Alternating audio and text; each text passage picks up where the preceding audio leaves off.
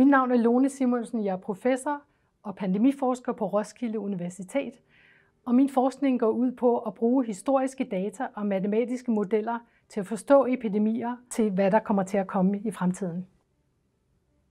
Når jeg allerede i januar og februar kunne stå og tale om i radioen, at det her så ud som om det blev en rigtig pandemi, så tror jeg, at det, jeg trak på, det er min historiske erfaring med at se på pandemier. Jeg ved, hvad der sker. Jeg ved, hvad for nogle faktorer, man skal kigge efter. Det er en unik linse, som jeg ikke tror, at der er så mange, der går rundt med. Så min forskning er meget interdisciplinær.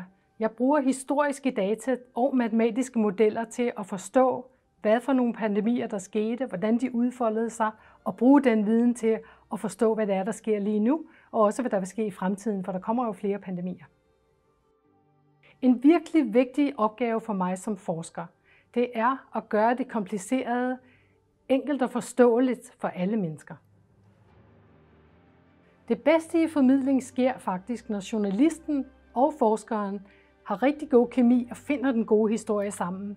Så når jeg formidler, så er jeg ikke bare sådan en, der modtager øh, spørgsmål og prøver at svare på dem. Jeg prøver også nogle gange at stille de gode spørgsmål og sætte en god agenda for, hvad det er, som, som vi alle sammen har brug for at vide noget om. Det vi forstår nu, det er, at vi står over for en 100 års begivenhed, som er lige så dødelig, som spanske syn var i 1918.